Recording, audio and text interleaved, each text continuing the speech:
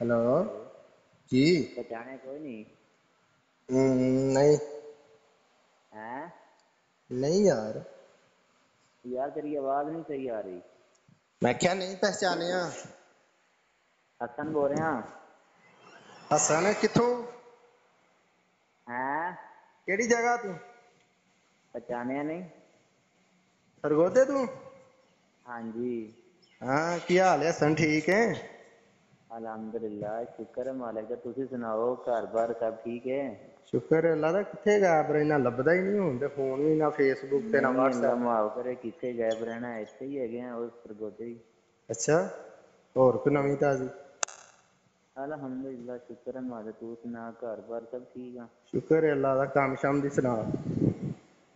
ਕੰਮ ਸ਼ਾਮ ਦੀ ਆ ਠੀਕ ਹੀ ਹੈਗਾ ਤੇ ਮਰੀਜ਼ ਹੈਗਾ ਆਪਣਾ ਫੈਸਲਾਬਾਦ ਅਜੀਤ ਫਾਤਮਾ ਹਸਪੀਟਲ ਕਿਹੜੇ ਹਸਪੀਟਲ ਅਜੀਜ਼ ਫਾਤਮਾ ਹਸਪੀਟਲ ਅੱਛਾ। ਉੱਥੇ ਹੀ ਆ ਰਹੇ ਹਾਂ ਕੱਲ ਦੇ। ਖੈਰ ਹੀ ਹੈ ਔਰ ਮਰੀਜ਼ ਨੂੰ ਖੈਰ ਹੀ ਹੈ ਮੈਂ ਕਿਹਾ ਆਹੋ ਬੁਖਾਰ ਦਾ ਮਰੀਜ਼ ਸੀਗਾ ਕੋਈ ਆਪਰੇਸ਼ਨ ਹੋਣਾ ਸੀਗਾ 10 ਕੁ ਵਜੇ ਦਾ।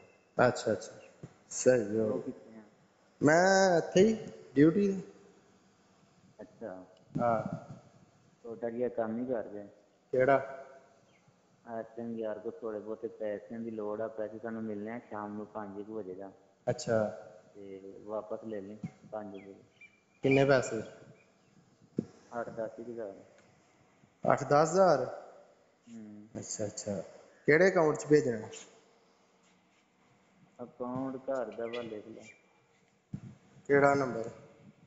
0347 ਹਾਂ। 5938 ਅੱਗੇ? 348 ਅੱਛਾ ਅੱਛਾ। ਤੇ ਕਿਹਦੇ ਨਾਂ ਤੇ ਰਜਿਸਟਰ?